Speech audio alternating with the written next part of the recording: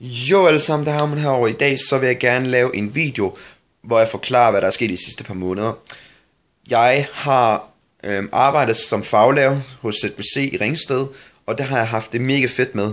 Jeg var rigtig glad for at få muligheden for at bruge de tanker og de idéer, jeg har haft ind i praksis, og få løn for det faktisk. Øhm, jeg arbejder som faglærer, som timelærer, ergo at jeg kunne kun arbejde i 36 timer, øh, hvor halvdelen blev brugt til at forberede sig, og hvor den anden halvdel blev brugt på at øh, lære dem. Og jeg lærte dem ikke et bestemt fag, selvom det lyder lidt øh, ironisk, men jeg brugte tiden på at lære dem øh, i temaformater.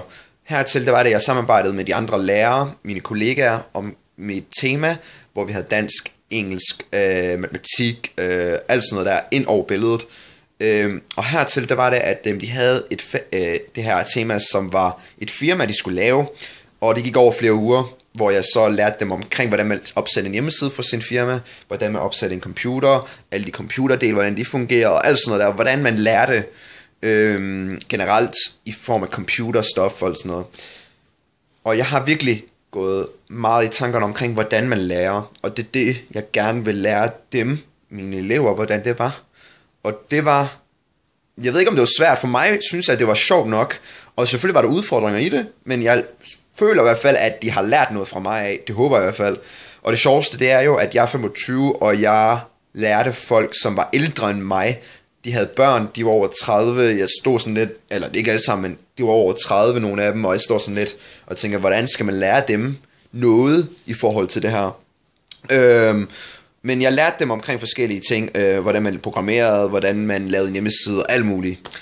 Og det var jeg virkelig glad for at kunne få muligheden for at gøre.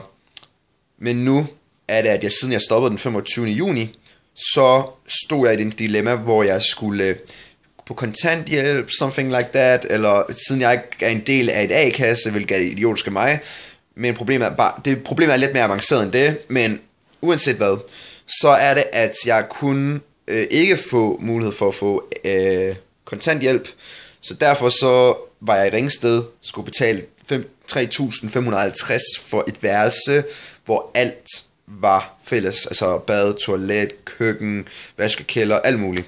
Det var fælles. Og det er lidt irriterende at flytte tilbage efter tre måneder, men det er fair nok for mig i virkeligheden. Det er lidt irriterende, men sådan er livet. Og det er derfor, at øh, jeg også prøvet at søge på en øh, videregående uddannelse som professionsbachelor, og det, jeg har fået accept fra UCN, altså University College Nordjylland, hvor jeg så fik muligheden for at få, øh, eller blive accepteret som webudvikler efter sommerferien. Så det regner jeg med at tage. Og så det betyder vel, at jeg tager tilbage til Aalborg for at øh, studere. Øh, lige nu så bor jeg hos min mor, men jeg vil gerne have muligheden for at bo øh, her, i et øh, en, en enkeltværelseslejlighed igen.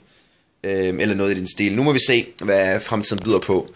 Så lige nu er det mest chill. Lige nu, nu er det sommerferie, men jeg arbejder faktisk stadigvæk med et projekt hos Scout Pocket og øh, hos, en anden, hos et andet firma, hos en af mine venner. Øh, så jeg arbejder sådan lidt freelance lige nu i sommerferien. Men jeg har nyt mit liv indtil videre. Derudover, så er det den anden ting, det er i fremtiden her lige om lidt, om nogle uger, der skal jeg til Sjælland, eller ikke Sjælland, jeg skal til Sverige, øh, i Linköping, eller jeg ved ikke, hvordan man siger det på svensk, men der skal jeg til Narkon, og det bliver spændende, fordi det er det mit første udlandske kon, sammen med nogle andre venner, som jeg skal tage med derover, og det bliver mega spændende. Jeg glæder mig sindssygt meget, og jeg håber virkelig, at det bliver en fed tur. Og jeg ved ikke, hvad jeg skal forvente, øh, udover øh, masser af cosplay, også udover masser af gaming og alt muligt. Øh, det bliver mega fedt. Jeg glæder mig. Jeg glæder mig virkelig. så Øhm, der er sket over nedture, øhm, og jeg er glad for, at min mor hun er her, mine forældre er her stadigvæk for at kunne ligesom, at hjælpe mig med de her problemer. Ellers så skulle jeg i hvert fald øh, bruge mine penge på random shit ting. Altså lige nu så har jeg ikke så mange penge i kontoen stadigvæk. Øhm, selvom jeg har fået løn, men ja, det brugte jeg faktisk på at rejse øh, rundt omkring Danmark, altså til København for eksempel, eller til øh, Aalborg for eksempel, eller generelt til bussen øh, og togene og sådan noget der, de er sindssygt dyre. Jeg har faktisk ikke overvejet at bruge så mange penge på transport. Og en anden ting, jeg har brugt penge på, det var faktisk også øh, restauranter og sådan noget, så jeg har inviteret mine venner ud, jeg har brugt penge på mig selv også lidt, så jeg har nyt livet lidt. Øhm, så det er jeg glad for. Så nu må vi prøve at tilbage til øh, studenternes verden igen, og så leve på vand og brød. Eller, jeg er sammen med min mor, så jeg skal nok overleve, tror jeg. Øhm, uanset hvad, så er jeg glad for, at jeg har haft det her liv op til nu. Så det betyder også måske, at jeg kommer til at lave flere videoer, altså siden jeg kommer til, til, til min mor, men det ved jeg ikke helt. Øhm, det må tiden vise. Jeg har ingen forventninger op til nu, øhm, udover at jeg bare skal noget, tage på webudvikleruddannelsen og forhåbentlig få en professionsbachelor og i sidste ende også få et job. Øhm, jeg regner også med at søge job øhm, stadigvæk, mens jeg studerer, fordi jeg ved om, hvor let det vil være at tage på webudviklingsuddannelsen. Jeg har løst lidt omkring deres øh, studieordning og sådan noget. Men ja, det er ikke fordi, jeg tænker, at det er så svært igen, men jeg kan godt øh, forestille mig, at det er svært i forvejen. Så det var bare det, jeg havde for den her gang.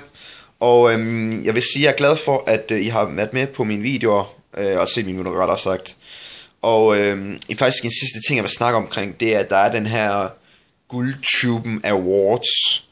Og øh, den regner jeg med at lave en video omkring i min øh, kommentatorboy kanal, hvis folk er interesseret i det. Ellers tror jeg ikke, jeg har mere. Øhm, der har været nogle spørgsmål omkring, hvordan det er at gå på uddannelse og sådan noget, og jeg må lige hurtigt komme med en øh, opsummering på, hvad man skal gøre. Jeg vil anbefale jer for det første at gå ind på UG.dk. For det andet vil jeg anbefale jer at finde deres studieordning. Ergo, at I skal finde pensum for de forskellige øh, uddannelser, der er. For eksempel webudviklingsuddannelsen, der kunne jeg se, der var noget med øh, XML. For eksempel, man skulle øh, hvad det, har det, lære den omkring. Så det handler meget om at finde ud af, hvad det er, man skal lære. Og så prøve at tænke over, jamen, kan jeg lære det her på egen hånd, eller er det svært for mig, og alt sådan noget. Og øhm, selvfølgelig så skal jeg nok øh, lave en videoblog over de sidste, næste par måneder, hvor jeg forklarer omkring de her, øhm, hvad hedder det nu, omkring de her øh, fag, jeg kommer til at få på webudviklingsuddannelsen. Og øh, en aller sidste ting, det er, jeg regner med at øh, tage på Game Jam, eller tage til Game Jam i øh, Nordjylland, øh, øh Nordsøndby ved Game Lab, tror jeg det hedder. Og øh, der skal jeg være frivillig hjælper, øh, så jeg regner med at lave spil, og det kan godt være, at jeg livestreamer det, eller det kan godt være, at jeg laver nogle vlogs omkring det, som øh, forhåbentlig bliver interessant for jer. Hvis jeg har spørgsmål, så må I endelig stille mig dem i kommentarsektionen, eller skriv privat til mig. Det er op til jer. Øhm, ellers så vil jeg sige rigtig mange tak, fordi I har set med på min video, og jeg håber, I vil se mine fremtidige videoer. Så vi ses til næste gang. Peace!